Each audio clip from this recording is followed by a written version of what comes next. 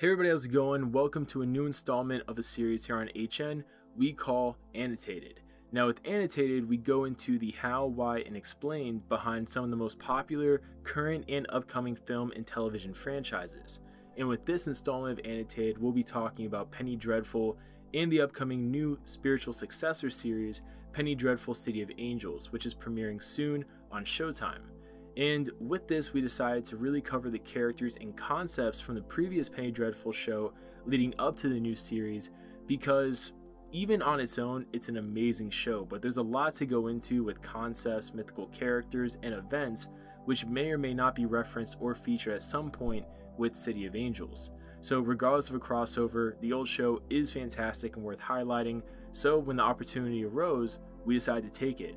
But hopefully, this gets you guys either into the series or more interested in the series if you've maybe seen one episode.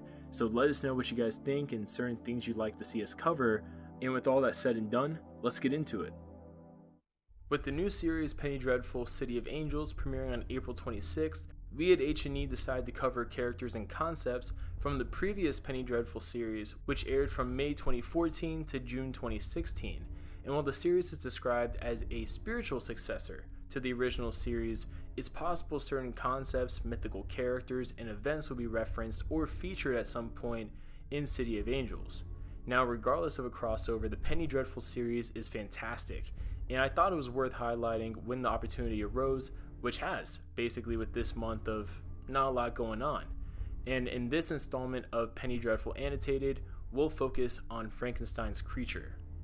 Now, in Penny Dreadful, Frankenstein was a mad scientist obsessed with life and death, as he had poor health and his mother died when he was young. Driven by his research to create a bridge between life and death through eternal life, he eventually revived a corpse with success. Now, unlike Frankenstein's future attempts at immortals, this creature was reanimated through the stitching of several body parts, not necessarily originating from him. Now, when he was kind of reanimated, if you want to call it that, he experienced unbelievable amounts of physical pain upon his creation and unfortunately was abandoned by his creator Frankenstein. And from here, the creature was taken in by an older actor named Vincent Brand. Now, Brand provided the creature with work at a local theater where he could remain out of public sight, yet still productive and learn. And after becoming friends with Brand, the creature adopted the name of Caliban for a time before later on taking the alias of John Clare. Now, due to the reanimation process, the creature has enhanced physical abilities such as strength and speed compared to normal humans. He also has various scarrings across his head and body with yellow eyes as well from the reanimation process and how he was stitched together.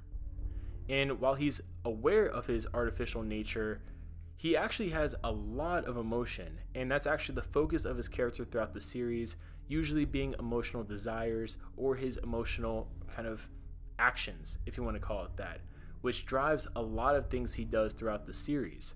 Because the character desires a lot of love and companionship, which at one point even escalates to him demanding Frankenstein making him an immortal wife, which doesn't really go as expected.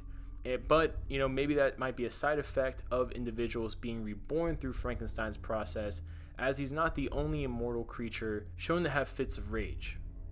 Now, shockingly, the Penny Dreadful interpretation of Frankenstein's creature is actually pretty accurate, and more so accurate than many pop culture appearances. And this is usually due to the original description from Mary Shelley being overlooked by the portrayal of Boris Karloff. It's alive. It's alive. It's alive. It's alive. It's alive. And in Shelley's original description, the creature was brought to life through chemistry, alchemy, and an electrical storm.